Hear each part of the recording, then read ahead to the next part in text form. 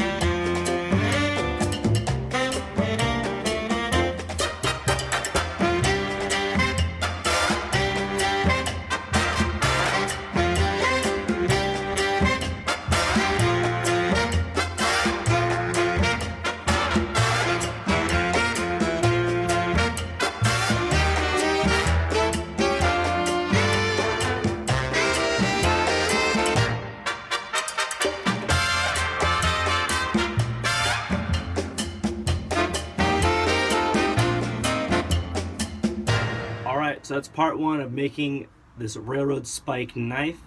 So far it's looking, you know, pretty good. That's what I have so far.